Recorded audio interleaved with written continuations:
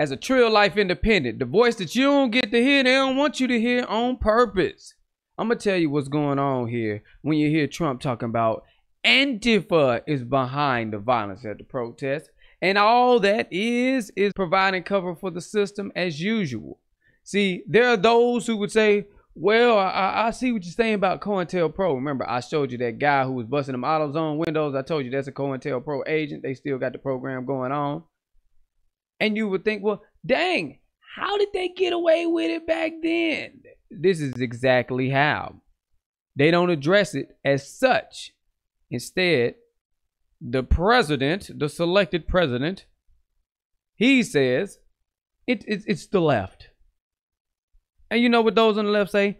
Oh, those are the right. It's, it's the white supremacists.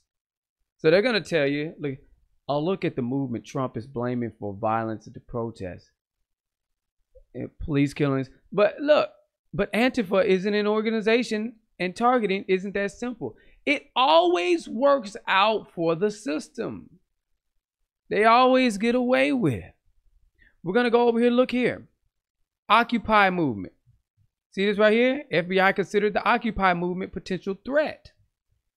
Look at what they're saying. These documents show that the FBI and the Department of Homeland Security are treating protests against the corporate and banking structure of America as potential criminal and terrorist activity.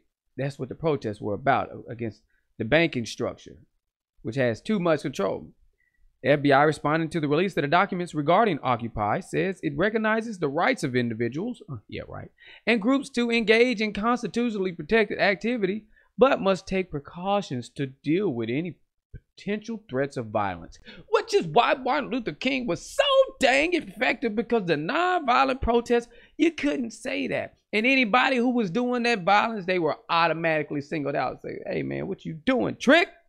What are you doing? Why are you doing that? Because this ain't what we doing. So then it highlights those bad actors, those COINTELPRO people. See, that's why they put these fake people in the protest so then they can say, oh, now we have a reason to investigate. And then you see here the DEA has been given permission to investigate people protesting George Floyd's death the DEA, same people who making fake profiles to catch people, but nobody say nothing about that. All they do is tell you it's Russia. Mm, mm, mm, mm. Already admitted that they got a fake troll army. You got authorities creating fake accounts so they can do surveillance on people. You don't want to bring that up. All you're going to say is it's the left, it's the right. And then look at these pictures that I got up here.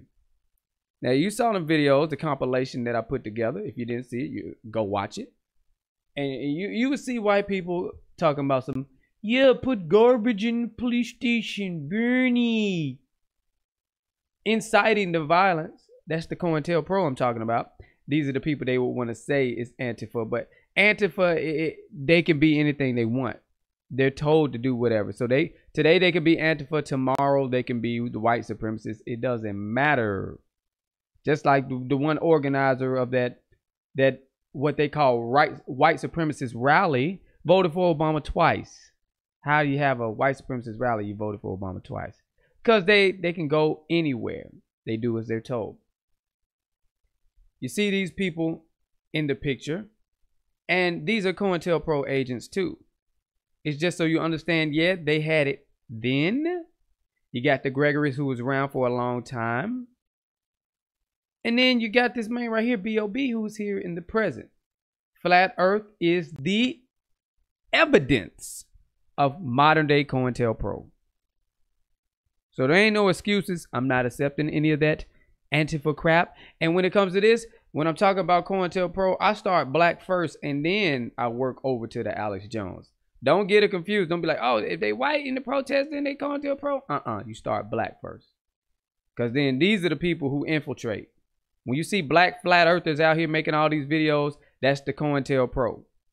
People talking about snitch culture and all, and all this type of stuff.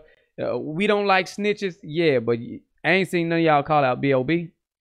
Where you at though? Calling out COINTELPRO because these people will will set you up and get you killed and set up the whole nation for destruction.